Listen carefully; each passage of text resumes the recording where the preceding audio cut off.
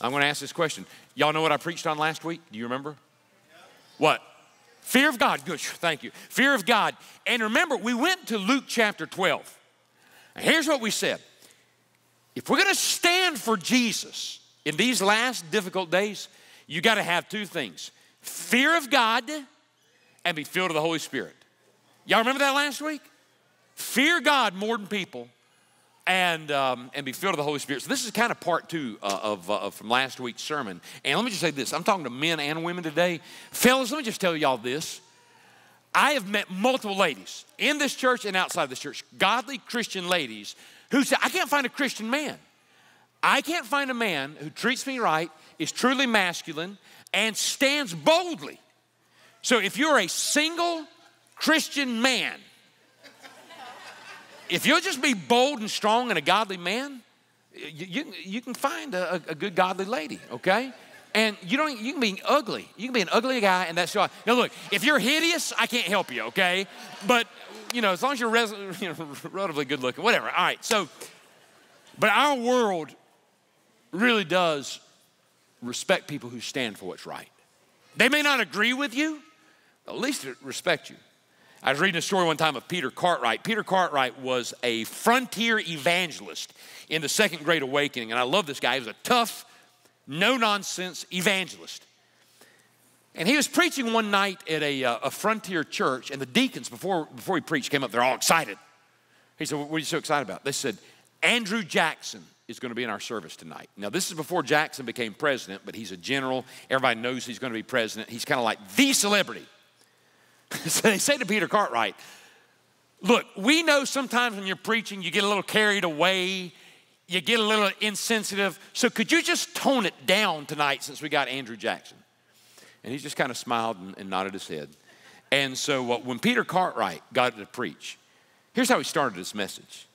He said, I have been told that Andrew Jackson is here tonight in our presence. I have also been asked by the deacons to tone it down since Andrew Jackson is here tonight. So let me just say this. If Andrew Jackson doesn't repent and get saved, he's going to be damned to hell just like everybody else. And afterward, Andrew Jackson went up to Peter Cartwright and he said, Sir, with a regiment of men like you, I could defeat this whole world. Isn't that great? I want you to look at Daniel chapter 3. Because in Daniel chapter 3, something very interesting happens. Nebuchadnezzar is the most powerful man in the world, okay? He is the global dictator, most powerful man in the world, and he's also a psychopath. And just south of Baghdad on the plain of Dura, to probably consolidate his power with all these different people he had defeated, he sets up a statue. And here's what he says We'll set up a statue. And there could have been thousands, there could have been tens of thousands there. He said, when y'all hear this music play, everybody must bow down to the statue. If you don't, Y'all see that furnace over there? I'm going to throw you in that furnace and I'm going to burn you alive. Now, incidentally, Nebuchadnezzar, I believe, is a foreshadowing of the coming world leader that we know as the Antichrist. Nebuchadnezzar was the first global Gentile king. The Antichrist will be the last global Gentile king. Nebuchadnezzar sets up an image to worship. In Revelation 13, the Antichrist demands global worship. Uh, the, the image that Nebuchadnezzar sets up has two sixes in it. It's 60 cubits by six cubits, 60 and six. The final Antichrist will set up an image and somehow it's connected to three sixes, 666. And this is an eerie, grotesque statue. It's 90 stories tall, nine feet wide. It's a weird, grotesque statue. And in fact, the music that is sounded, scholars who study Daniel chapter 3 and say, they studied the instruments, they said, these instruments, they don't go along with each other. It's some kind of weird, demonic, cacophonous sound. And so the music sounds and thousands bow. Again, maybe tens of thousands bow, except for three young men Shadrach, Meshach, and Abednego. And these young men actually have an interesting past. They had been uh, born and raised in Jerusalem, in Judea. And when the Babylonians came and destroyed Jerusalem in 586 BC, Shadrach, Meshach, and Abednego, along with thousands of others, were transported to Babylon. They were basically kidnapped and transported to Babylon, okay? And what they did in Babylon is they said, We need help ruling this big empire. So we're gonna take some of these captives and we're gonna try to find the sharpest ones we can. And we're gonna take them out of that captive group and we're going to start a governor's school. So Shadrach, Meshach, and Abednego went to that governor's school. And there probably was, some scholars say maybe a hundred in all, young Jewish men who went to that governor's school. Okay? And that's who these guys are now. But they were kidnapped when they were teenagers. Now they're probably in their 20s. And these are the ones who will not bow to the golden image. You need to understand this. Nebuchadnezzar and that wicked Babylonian culture was trying everything they could to corrupt those young men. And whether you know it or not, the Bible says that there is a system, the Bible calls it the cosmos, the world. There is a system that is trying to corrupt you, your family, and your young people. And how does that system try to corrupt us? Several ways. Jot this down. First of all, they try to do it through indoctrination. You know, Shadrach, Meshach, and Abednego, did you know that's not their given name?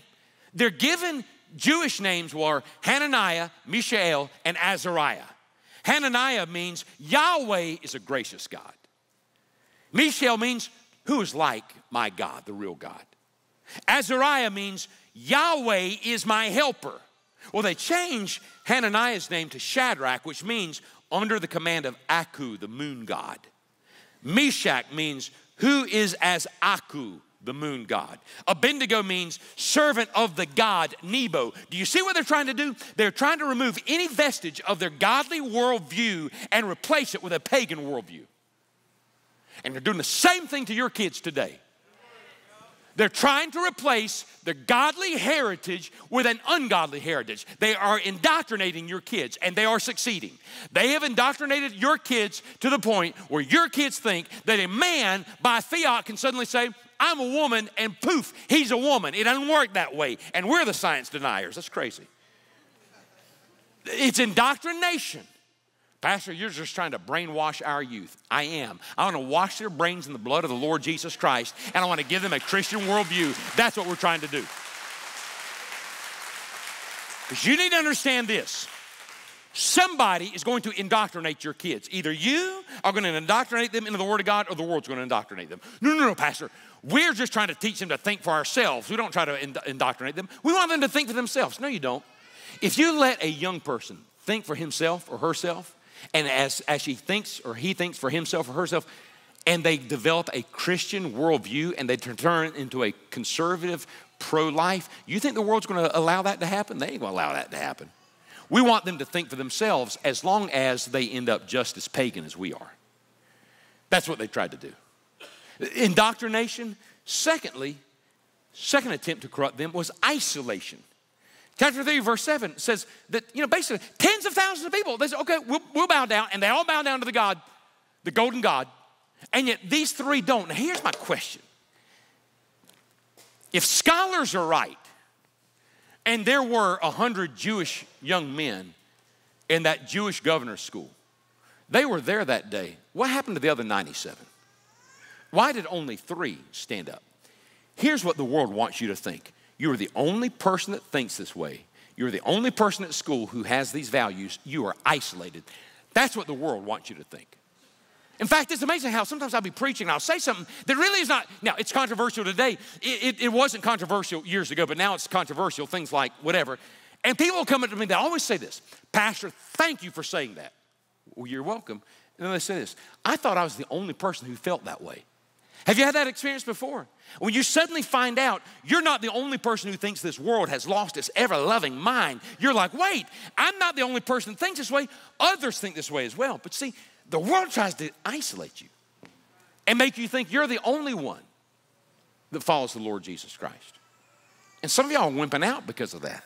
We used to sing an old song, you know, we you know we lie all the time in church. The biggest way we lie are the songs we sing. Remember we used to sing this song Though none go with me, I still will follow. Though none go with me, I still will follow. Though none go with me, I still will follow. No turning back, no turning back. Maybe we ought to start singing that again because I want to get to the point where I don't care if the other six billion people on planet Earth go the other way, I'm still following the Lord Jesus Christ. So they corrupt them through indoctrination, through isolation, and then through intimidation. Hey, y'all don't bow. You don't toe the line, I'm throwing you into the fiery furnace. We're, having to deal with the same thing today. We have to say to our kids, conservative kids, maybe you need to go back and take that off of Facebook. Because if a potential employer sees that you voted for that person, if a potential employer sees that you have that value, you may not get hired. What's the world doing? It's intimidating us. Same thing. Um, my daughter is good friends with. Y'all remember the Bring Back Our Girls thing? The, the 200 girls that were kidnapped by Boko Haram a few years ago? Y'all remember that? My daughter's friends with one of those girls. The Muslim group went into this village, kidnapped all these Christian girls, took them hostage, and uh, some of them escaped. They jump off the truck and, um, and they ran through the jungle. And my, my daughter is friends with one of those ladies. And uh, these are teenage girls. They're brought back to this Muslim stronghold, and they are told you can either convert to Islam or you can be killed. One girl named Monica refused to convert, and she was stoned to death. I read an interview with her father, who's a Nigerian pastor, very soft spoken man. And here's what he said quote, I was told that my daughter refused to change her religion. I was told that they dug a hole and buried her up to her neck, and then they stoned her to death. Then he said this to die for the sake of Christ, that's the happiest thing for me. I am grateful that she didn't change her religion. She trusted in God to the very end. That's intimidation, and she didn't bow. So, how is the world trying to corrupt our young people? Indoctrination, isolation, intimidation, and then jot this down subjugation. Do you know what I mean? Subjugation, it means you can't have any varying different opinions. You got to toe the line. Every knee must bow. Everybody has got to be in agreement. That's subjugation. And you see this here. I mean, here's the thing. Let's say it was like tens of thousands of people who bowed. Nebuchadnezzar, three out of tens of thousands, that's pretty good. Just let it go. Nebuchadnezzar says, No, I'm not going to let it go because every knee has got to bow. I read this past week in the book of Esther. There's an anti Semite named Haman. The emperor elevated him and says, Everybody bow to him. And so everywhere he go, Every knee bowed, every knee, every knee, every knee. Except there was one man, a God fearing Jew named Mordecai, that wouldn't bow his knee. Now, if I were back, I said, hey, Haman, just let it go. Everybody else is bowing to you. It's just one person, just let it go. And he said, no, every knee has got to bow. Every knee. Hey, there are other wedding venues who believe in gay marriage. I'll give you the number. Would you go ask them? No, every knee has got to bow. There are other bakers who will bake a stupid wedding cake. No, every knee has got to bow. There are other florists you can use. I don't care. Every knee has got to bow. That's subjugation, and that's the world that we are living in right now. And so, beloved, I'm just telling you, this is not just for several thousand years ago. This is for today. Look, this is happening right now. I'm not, look, Okay, I'm not a conspiracy guy. I'm not a, I believe Oswald acted alone. I'm not a conspiracy guy, but I'm just telling you, it's getting crazy out there and I don't trust them. I don't trust the media. I don't trust our Lord and Savior Anthony Fauci. I don't trust any of them. There's something going on that just doesn't make sense to me. And in fact, now I got to be really, really careful here, okay? Because Pastor Chris is going to preach for me next week, and I don't want to blow things up, and he has to clean up my mess. So I'm just I'm going to choose my words carefully. This is not theoretical. Even this past week, we as a church were targeted by a government institution because of our conservative beliefs. Now, we're going to work through it. I'm sure they're going to come to their senses. Everything's going to be all right. But here's what I want to say to these government people hey, don't put that in, if you're going to target us for our beliefs, at least don't put it in writing, okay? You got to, you can talk about that behind our backs at your office or whatever, but don't, it's illegal to put that in writing. But anyway, we'll work through it. But I want you to understand this is happening right now, okay? Pastor, does it bother you? Now, this is where I get really weird, okay?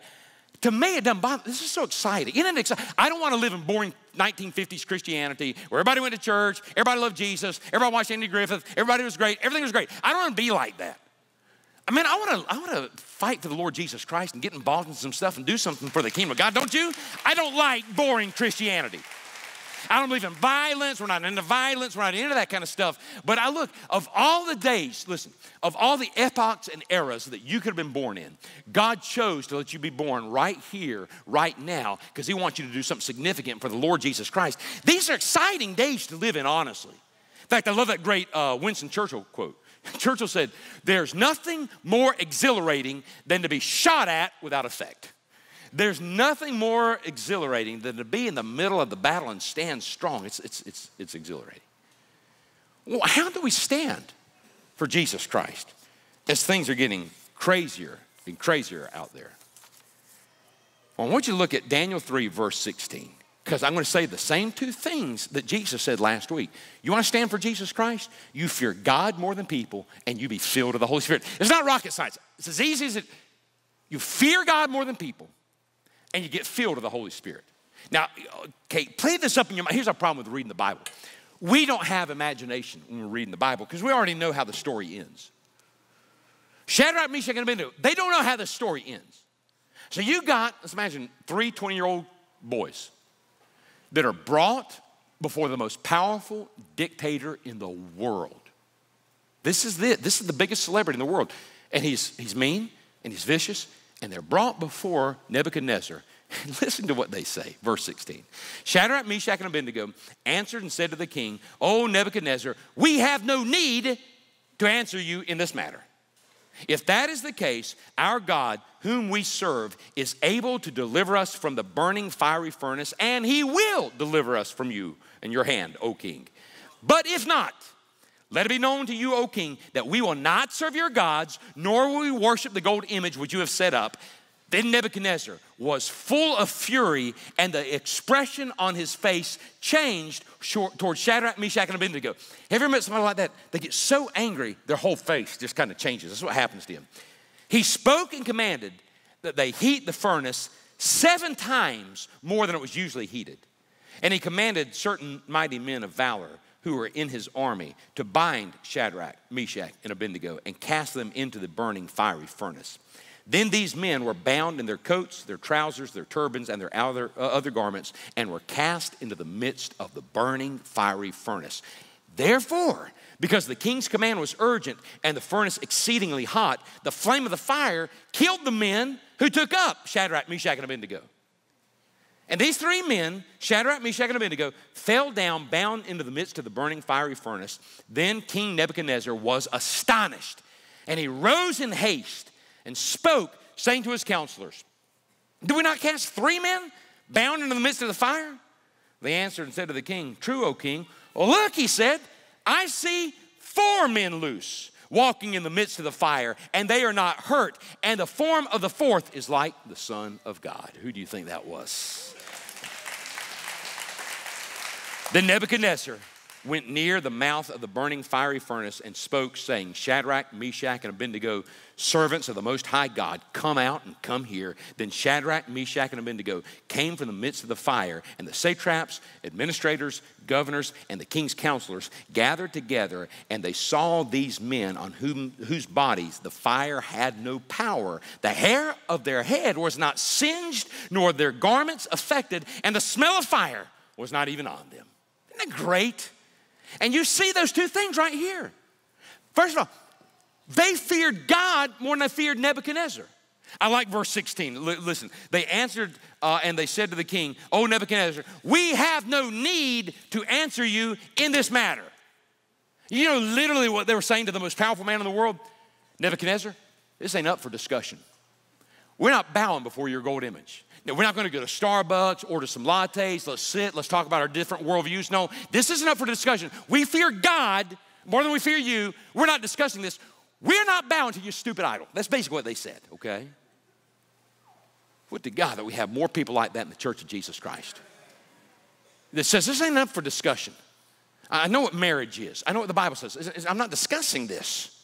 You well, that's the thing. We all think we need to sit down and we need to kind of come to some compromise. We need to kind of be maybe a little bit more middle of the road. Can I tell you something? The only thing I've ever seen in the middle of the road was dead and it stunk. We need to say, I know what the Word of God says, and I'm sticking to the Word of God. They feared God more than man. And then, secondly, remember what Jesus said last week in Luke 12? You got to fear God more than people, and you got to be what? Filled with the Holy Spirit. Well, I want you to look there verse 24. Then King Nebuchadnezzar was astonished, and he rose in haste and spoke, saying to his counselors, Did we not cast three men into the midst of the fire? They answered and said to the king, True, O king. Well, look, he said, I see four men loose walking in the midst of the fire, and they are not hurt, and the form of the fourth is like the Son of God. Here's what some of y'all are saying Hey, if I had that fourth person walking around with me, I wouldn't be scared. You, you tell me to go out and stand in the midst of the fire, well, they had that fourth man walking around. I could stand for Jesus in this culture if I knew that fourth man was walking beside me. Hey, newsflash, he is walking beside you. He said, I'll never leave you, I'll never forsake you. I'm with you always, even until the end of the age. That fourth man is still walking around. Because you need to understand this. We believe in how many gods? One. That one God in three persons Father, Son, and Holy Spirit. Do you know what the Holy Spirit's job is? The Holy Spirit's job is to mediate, that is, to bring the presence of God down to you. The Holy Spirit is God's presence with you. That fourth man is walking with you. He is with you in that fire right now. In fact, Jesus put it this way John chapter 14, verse 16. And I will pray the Father, and he will give you another helper that he may abide with you. For how long, church? Forever. Verse 17, the Spirit of truth, whom the world cannot receive, because it neither sees him nor knows him, but you know him, for he dwells with you and will be with you. And when you start to understand that, listen to me. When you start to understand that the presence of the Holy Spirit is with you everywhere you go, some kind of godly, supernatural boldness wells up in you. In fact, have you ever studied a concept and after you study, you're like, I think God is trying to take us by the shoulders and shake us and say, Listen to me. Because this concept is all over the Bible. Somebody said one time, uh, there are 366 uh, uh, um, Fear nots in the Bible. Fear not, fear not, fear not, fear not. One for every day of the year plus leap year. There are all these fear nots in the Bible. Have you noticed before? Many times God will say, Fear not. Why? Because I'm with you. Don't be afraid. Why? Because I'm with you. Over and over and over again. It's like God is saying, Church, I love you. Y'all reasonably smart people. I'm just trying to tell you this over and over again. Don't be afraid. Why? Because my presence is with you. And when we saw that last week, look at the Luke chapter 12, verse 12. Jesus has just said, Y'all got to stand for me and be bold. He said, The, the religious people are going to come after you, the political people are going to come after you, and then all the other world powers are going to come after, you know, Hollywood and uh, the educational system, all that. They're all going to come after you. And Jesus says, when they come after you, verse 12, the Holy Spirit will teach you in that very hour what you should say. The who? The Holy Spirit. Here's another one Matthew chapter 10. You will be arrested, you will be scourged. You will be brought before the world leaders. Some of y'all saying, wait a second, well, then why should I follow Jesus Christ if Jesus is promising you will be arrested, beaten, and scourged? Why? Because you get Jesus. They can scourge me all they want. I get Jesus, and so I come out on top. In fact, we like these, these Bible promise things. You know, some of y'all have a calendar, a precious Bible promise for every, every day. Can, can I tell you a precious Bible promise you never have on those little calendars? Here's one. All those who want to live a godly life in Christ Jesus will be persecuted. Y'all want to live a godly life in Christ Jesus? Do you want to live a godly life? Then you're going to be persecuted. That's going to happen. And so Jesus says in Matthew, chapter 10 look, when you're arrested and scourged and brought before world leaders, don't worry about how to respond or what to say. Because God will give you the right words at the right time. Listen to this. For it is not you who will be speaking, it will be the Spirit of your Father speaking through you. Isn't that great? there again, Holy Spirit, boldness to stand for Jesus Christ. Here's another one Acts chapter 4, verse 8. Peter is talking to the same men who just a few months before had Jesus arrested, beaten, tortured, and killed. And they're going to do the same thing to Peter if he's not careful. And Peter does not hold back. I would kind of forgive Peter if he maybe shrunk back a little bit. No, no. It says in Acts chapter 4, verse 8, then Peter, filled with the Holy Spirit, said to them, and he just puts them in their place. Filled with the who? Holy Spirit. Acts chapter 4, verse 31. The church is facing persecution. They're coming at the church. They're now getting some grief because they're following the Lord Jesus Christ. And the church didn't huddle together and say, Oh God, please, please put a Republican back in the White House so the, the persecution will quit. Oh God, in the name of Jesus Christ, please make the bad guys stop being bad guys. Please make the demons get saved and they'll be nice to us all of a sudden. They don't pray that. Here's what the church prays when they're going through persecution. Acts chapter 4, verse 31. And they were all filled with the Holy Spirit and they speak the word of God with boldness.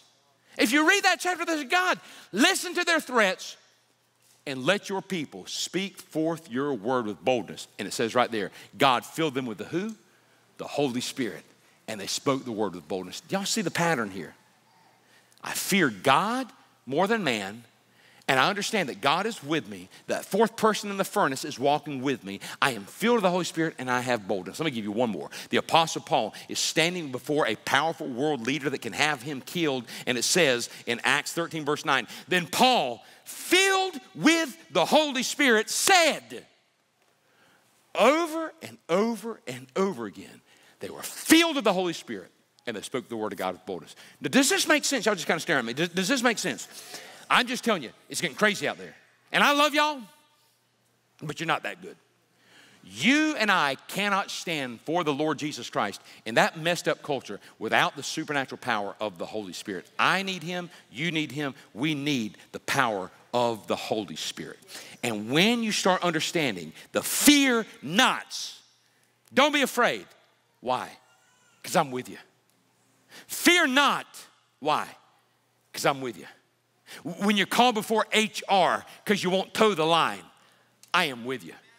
When you're denied tenure because you won't compromise, I am with you. I am with you. I am with you.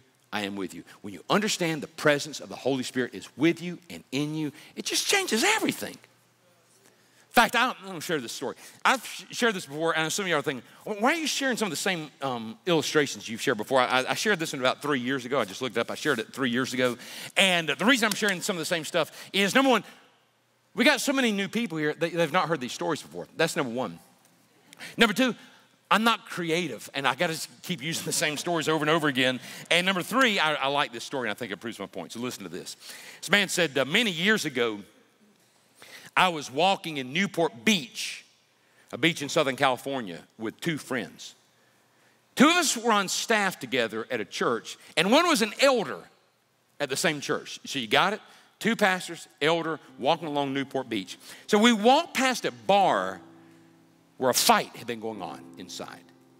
And that fight had spilled out into the street, just like an old, like an old John Wayne Western movie. Several guys were beating up on another guy and he was bleeding from the forehead. The, the, the, three of us, we knew we had to do something, so we went over there to break up the fight. He says, I don't think we were very intimidating.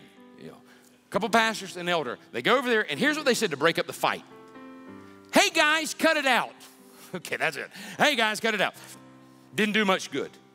They kept beating up on the guy. Then all of a sudden, they looked at us with fear in their eyes. The guys who had been beating up on the one guy stopped and started to slink away. I didn't know why until we turned and looked behind us, and out of the bar had come the biggest man I think I've ever seen in my life. He was something like six feet seven inches, maybe 300 pounds, maybe 2% body fat. He's just huge. We called him Bubba. Not to his face, but behind his back later on, we called him Bubba. Bubba didn't say a word. He just stood there and flexed his muscles. You could tell he was hoping the guys would try to have a go at him. And all of a sudden, as those guys were walking off, my attitude was transformed. And I said to those guys, Yeah, and you better not let us catch you coming around here again. I was a different person. because I had a great big Bubba standing beside me. I was ready to confront with resolve and firmness. I was released from anxiety and fear. I was filled with boldness and confidence. I was ready to help somebody that needed helping. I was ready to serve where serving was required. Why? Because I had a great big Bubba standing beside me. I was convinced that I was not alone. I was safe. If I were convinced that Bubba were with me 24 hours a day, I would have a fundamentally different approach to my life. If I knew that Bubba was beside me all day long, you wouldn't want to mess with me. But he's not. I can't count on Bubba. And again and again, the writers of Scripture pose this question for us How big is your God? And again and again, we are reminded of the one who is greater than Bubba that has come. And you don't have to wonder whether or not he'll show up. He is always there. You don't have to be afraid. You don't have to live your life in hiding. You have a great, big God, and He's called you to do something great. So get on with it. And I'm saying to you, the God of the universe is with you wherever you go out there. In fact, I want you to stand with me right now because here's what I want us to do. I don't know about you. We had yesterday our membership class. We had like um, 140 people show up for membership classes. Isn't that great? And I told them this yesterday. You were talking about the baptism of the Spirit. I said, I don't just believe in the baptism of the Spirit, I believe in baptisms of the Holy Spirit. And I get filled with the Holy Spirit, and I'm a leaky vessel. I just need a fresh refilling of the Holy Spirit. Anybody else here in this place? I need the boldness of the Holy Spirit. I need to be reminded that He is with me. He will never leave me, He will never forsake me. And for a few moments this morning, I want us to pray for a fresh infilling of the Holy Spirit of the living God. Hey, here's the pastor. What do I do? What are the five steps to being filled with the Holy Spirit? There's only one. Jesus said, How much more will your Father give the Spirit to them that ask? You just ask Him. So we're going to sing and we're going to worship for a few moments. And then we're going to ask the Father for a fresh infilling of the Holy Spirit of the living God. Are y'all with me on this? And so let's worship for the next few moments, and then I'm going to pray, and we're going to just receive a fresh infilling of that Holy Spirit. Megan, lead us right now.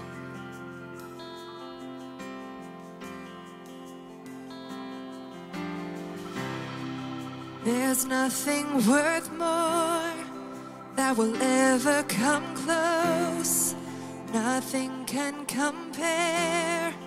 You're our living hope. Your presence, Lord. Yeah.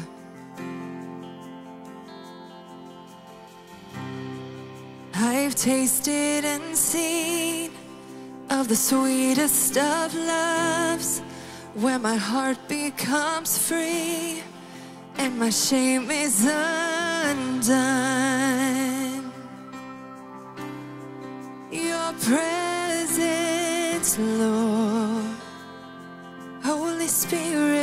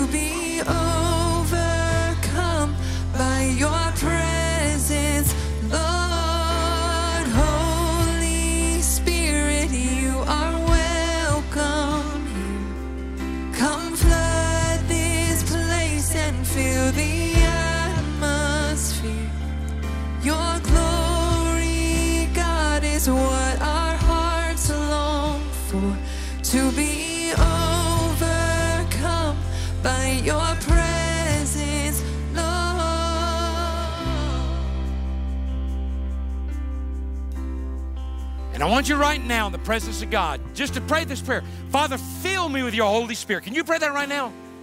Father, fill me afresh and anew with your Holy Spirit. God, I'm dry. God, I'm weak.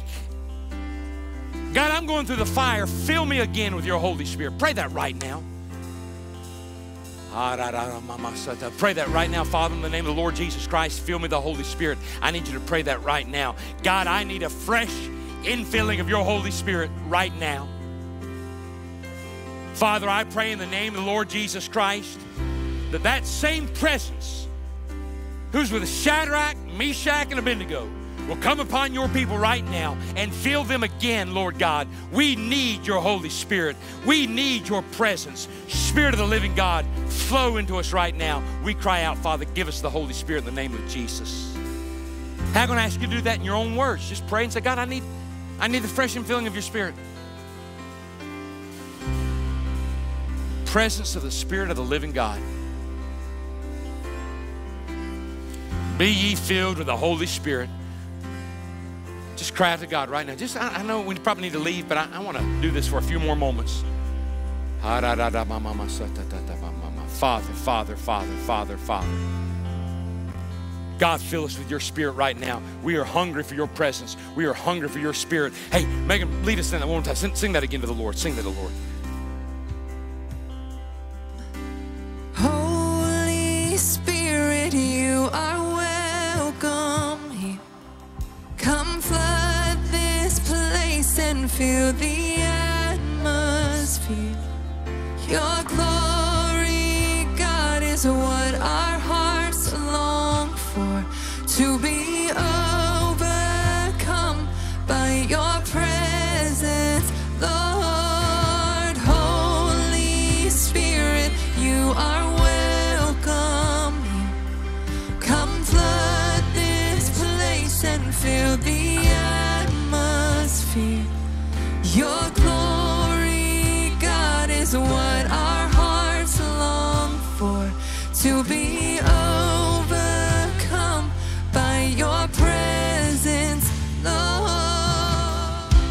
Hey, church, church. God says the same thing to Joshua. Joshua's about to go fight demons, fight giants, push back the forces of darkness, expand the kingdom of light. And God says, Joshua, why are you afraid? I'm going to be with you everywhere you go. And I'm saying to you, you leave this place to fight demons, fight giants, push back the force of darkness. God's going to be with you everywhere you go. So I say to you the same thing that was spoken over Joshua right now. You receive this from the Lord. Yavrekika Adonai Vishmareka. Yair er Adonai Penyav Eglavikaneka. Isa Adonai Penev. By Sim Shalom. The Lord bless you and keep you and make his face to shine upon you and be gracious to you. The Lord turn his countenance to you and give you shalom, peace, wholeness. And I also say to you, ve'ematz, ata rots v'adhet, heimcha, Adonai, Elahecha, behold, asher tehelach, which means be bold. Y'all be strong.